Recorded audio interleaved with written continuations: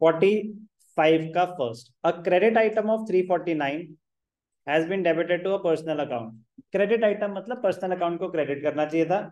हमने personal account को debit कर दिया। अब क्रेडिट करना पड़ेगा। कितने से? Three forty nine plus four thirty nine से। तो seven eighty eight personal account कौन सा पर्सनल कुछ नहीं पर्सनल अकाउंट उन्होंने बोला personal account suspense account debited to personal account कितना? सेवन एटी कोई भी doubt clear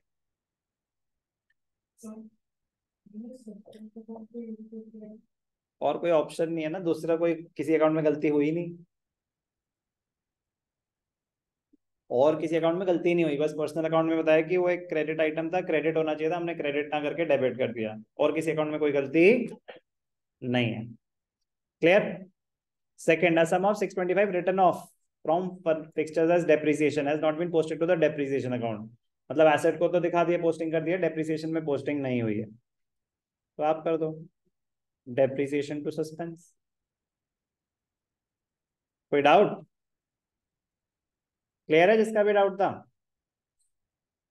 Fourth a discount allowed to a customer has been credited to his account as 145 in place of 154 discount allowed to a customer. तो entry होती है discount allowed to customer customer credit होना चाहिए था 154 से। हमने कर दिया 145 से। गलती से कस्टमर के अकाउंट में short credit of nine rupees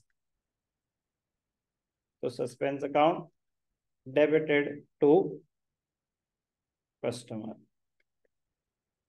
clear question number 45